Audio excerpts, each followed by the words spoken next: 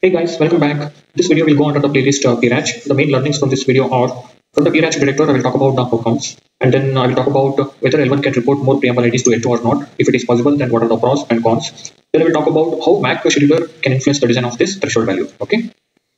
Mainly at the gNB, the PRACH detector will be running for every preamble ID. Okay, for all the 64 preamble ID, uh, the correlation would be done and uh, there will be a check on whether a definite peak is formed or not. So if a peak is formed and if it is above a certain threshold value, then the preamble ID would be detected and correspondingly the timing advance and preamble ID would be reported. Okay, this would be reported to L2. Now, apart from these things, what other parameters would be reported to L2? Okay, it depends on the MAC scheduler algorithm. Okay, uh, so usually the scheduler would be requesting for SNR as well to be reported. So SNR is one thing. And apart from that, uh, it could be even signal power, or it could be even noise power, and many other uh, you know measurements uh, could be requested. Okay, it all depends on the design of the MAC scheduler. So all these things will be reported only when there is a peak which is above the threshold setting, right? So that threshold design mainly depends on certain uh, considerations. So the first thing is this threshold value should be as low as possible so that uh, you know the more valid preamble IDs are detected and at the same time uh, the threshold value will not uh, should not detect any false false preamble IDs. Okay.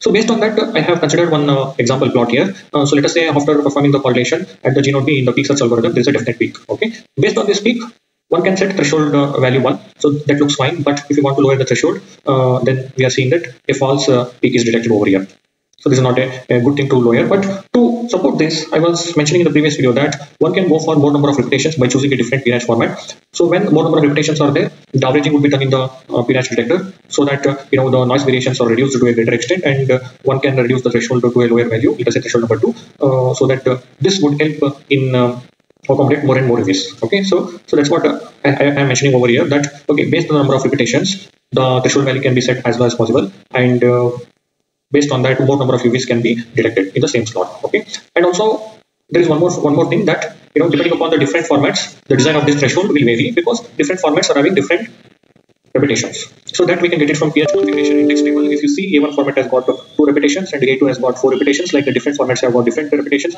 More the more the repetitions, uh, we can try to set the threshold as low as possible.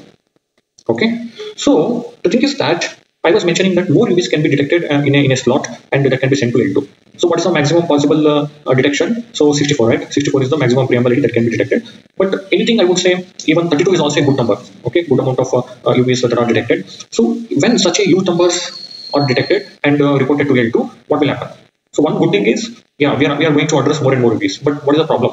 The problem is it will make the scheduler design very complex. So it will burden the uh, scheduler because now scheduler has to address all these UEs. It has to, you know, allocate the resources uh, for further uh, um, processing, right? And considering the PDSCH data or PUSCH data, uh, even you know the further message to message tree should be scheduled for all these UEs. So it will burden the scheduler, and moreover, it will also increase the um, signal processing at the L2 layer. So considering all these things, an optimal scheduler is required, okay, which can address an optimal number of UEs.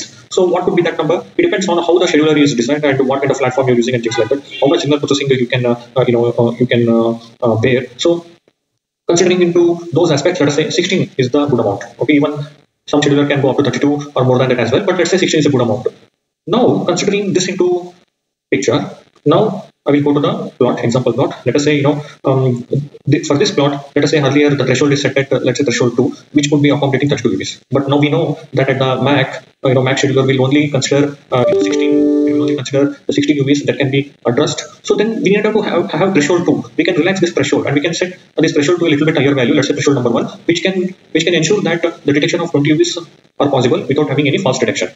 Okay, so I mean one more thing is that um, one more thing is that uh, since the threshold is now set to a little bit higher value, even you can have less number of repetitions in the system so that uh, you know more variations or more variations in the noise are also allowed, and that variation should be less than the threshold one. Okay, so I think you got a clarity like how MAC scheduler can influence the design of this uh, uh, scheduler.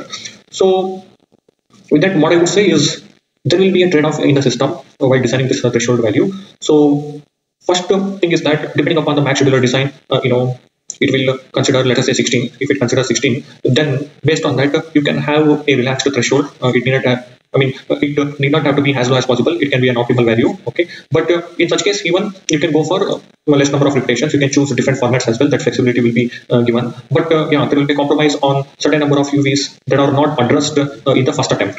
Okay, that kind of uh, trade-off would be there. And also we I mean, we will not be in a position, I mean, the genome will not be in a position to detect more and more UEs, okay? Because the, even if it detects, okay, there is one more point. Even if, let us say, uh, L1 detects, okay, 20 UEs or 24 UEs, and if it is reported to, uh, you know, the L2 layer, what does L2 do?